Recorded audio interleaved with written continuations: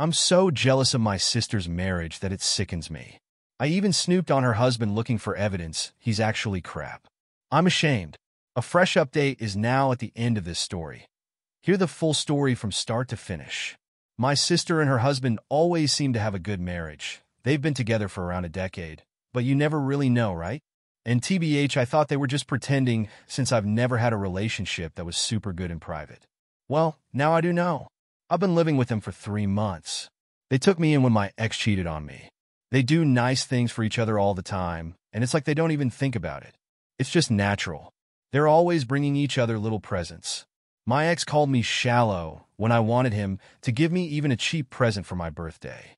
Their eyes light up when they look at each other. My ex looked at me like I was a potato. They hug each other as though they haven't seen each other in months whenever one of them gets home. My ex ignored me when I got home slash wanted me to leave him the fuck alone to fucking relax whenever he got home. They encourage each other's hobbies and outside friendships.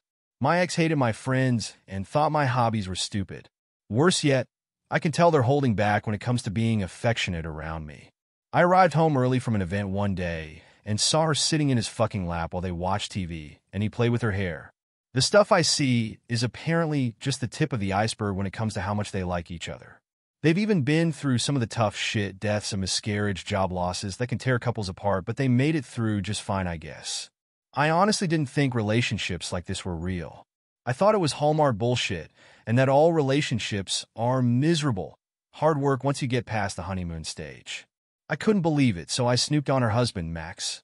It turns out his private communications are fine.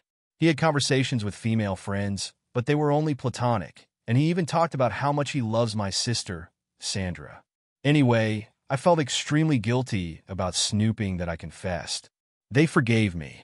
My sister took me out for the day without Max and told me she'd been in shitty relationships before Max, which I already knew, and that she thinks they helped her learn how to spot red flags so that she'd be available when the right person for her finally came along. She's also gone to therapy for a long time, and she says it helped her learn how to make healthy relationship choices slash be a good partner. Max and Sandra offered to pay for me to get therapy. My insurance isn't great, so that's nice. I just want to find something like what they have. There's a silver lining, though, I guess. Now that I know this kind of relationship isn't a childish fantasy, I don't think I'll ever be able to put up with somebody like my ex again. Update. Hi. I'm the psycho who snooped in my BIL's messages because I thought it was impossible for men to be great to their partners. Short summary of original post. My ex was shitty. In contrast, my sister's husband treats her so well that I thought it could be real. I snooped on him to try and find out what he was really up to, but he wasn't up to anything. I fessed up after realizing how horrible I'd been. My sister and her husband offered to get me therapy. I'm not sure exactly where to start, so I'm going to use a list format and just write stuff in whatever order it comes to mind.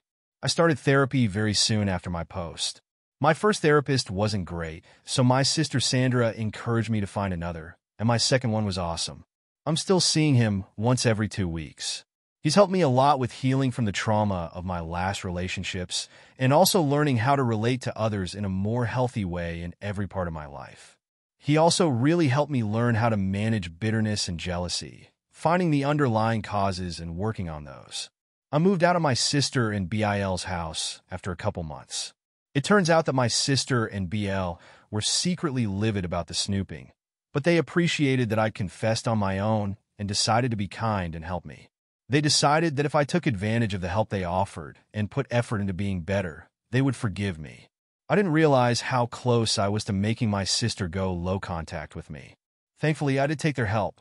I'm not upset seeing how loving my BIL is to my sister anymore. I'm happy for her.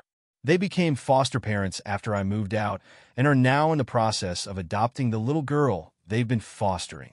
They are literally the perfect people to be nurturing a traumatized child. They're doing so great, and the little girl, Maddie, is doing so much better than when she was first placed with them. She's an amazing girl, and she and my sister plus BIL are so lucky they've all found each other. I've been single the whole time. That was on purpose. A few months ago, though, I determined that I'd be open to dating again. I didn't want to actively do anything, no dating sites, but I decided I wouldn't purposely avoid dating anymore. A week ago, a guy I became friends with at an animal shelter I started volunteering at about six months ago asked me out. I said yes. Our first date was great. He's very kind. He's the guy you go to if you need to calm down a traumatized, terrified animal. He cleans diarrhea-coated animal carriers without any complaint. My sister approves of him. He's very funny too. So that's the update.